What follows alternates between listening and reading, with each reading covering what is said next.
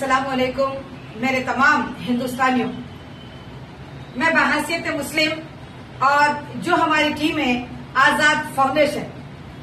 हम हैं आज़ाद।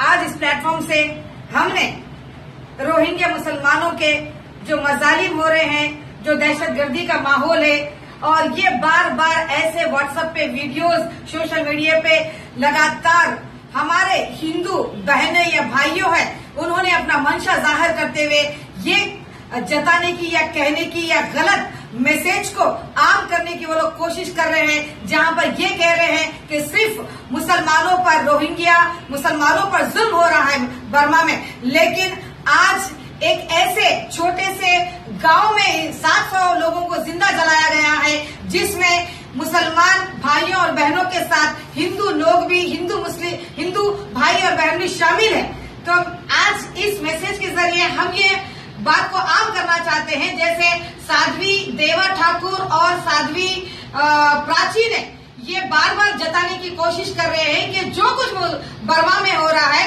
वो ठीक है।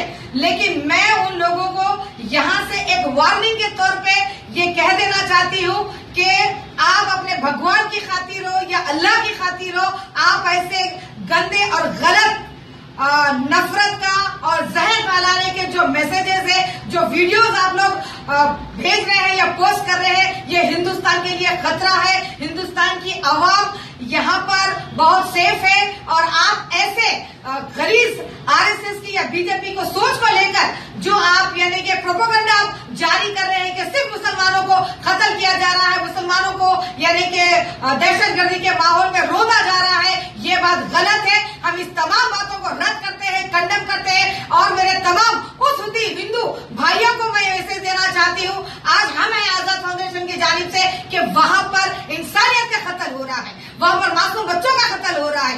बेबस, लाचार औरतों, बहनों का, माँ का कत्ल हो रहा है, जिसकी इसमत रेजी हो रही है। जिंदे उनको जलाया जा रहा है, खून की नदियाँ बह रही है। तो इसको सारे आलम में इंसानियत को सामने रखकर हम लोग हिंदू हो, मुस्लिम हो, सिख हो, ईसाई हो, तमाम बात करना चाह रही हूँ कि आप ऐसे वीडियोस पे जो झूठ का प्रोपोगंडा कर रहे हैं, जो गलत का प्रोपोगंडा कर रहे हैं और मिसालें दी जा रही है कि बर्मा में जो हो रहा है वो ठीक हो रहा है, ऐसे माहौल को हिंदुस्तान में भी बर्मा करने की कोशिश कर रहे हैं। लेकिन हम ये आवाज़ उठाते हैं कि ये सारे चीज़ों को कंडम करिए। मैं उस मुसलमान और हिंदू भाइयों को भी एक पीसफुल मैसेज देना चाहती हूँ कि ये हमारा जो भी इंसानियत का जो हमारा रोल है, वो सारे लोग अदा कीजिए और ऐसे मैसेजेस पे यकीन मत करिए और ये सिर्फ़ प्रोवोक करने का या भटकाने का या वर्गलाने का काम, ये जो साथी प्राची और साथी देवर ठाकुर कर रहे हैं, ये गलत है।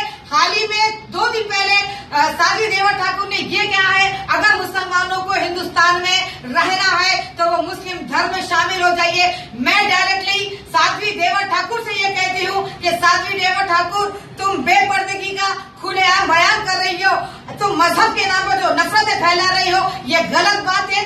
और आज मैं दोबारा आपको ये कह रही हूँ कि आप अमन और शांति का मैसेज दिलाइए, क्योंकि हिंदुस्तान सारे लोगों का है, सारे मजहबों का है, और आप हिंदू राष्ट्र बनाने का जो मंशा है, या हिंदुत्व के एजेंडे को जो आप लोग लेकर चल रहे हैं, ये गलत है, क्योंकि आप दहशत गर्दी के माहौल को बर्पा करने की कोशिश कर रहे हैं। लिहाजा हिंदू भाइयों का भी खतल हो रहा है हिंदू बहनों की भी हो रही है। हिंदू लोगों के बच्चों को भी काटा और जलाया जा रहा है, ज़िंदा दफनाया जा रहा है। लिहाजा ये इंसानियत की गुहार है, इंसानियत की आवाज़ है। इसीलिए हम तमाम को एक होना है, हिंदू मुस्लिम को एक होना है, हिंदुस्तान को हमारे मुल्क को बचाना है। और ऐसे माहौल में हमको एक होकर इतिहाद होकर हमारी सरकार को या हमारे हुक्मरानों को हम ये अपील करते हैं कि human rights united nation organisation को भी आज हम लोग अपील करते हैं कि हद से ज़्यादा जुल्म बढ़ रहा है। लिहाजा इसको रोकने की कोशिश की जाए। सारे आलम के उस कंट्रीज़ को भी हम लोग यहाँ से मैसेज देना चाहते हैं कि बर्मा के मुसलमान हिंदू और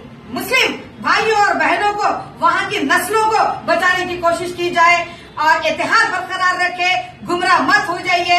ऐसे चंद लोग हैं जो देश को गुमराही के दौर पे या गुमराही के रास्ते पे लेके जा रहे हैं। लिहाजा हम एक हो और ऐसे मैसेजेस को कंडम करें और गंदे और झूठे मैसेजेस को वायरल ना करें। शेयर ना करें। जय हिंद।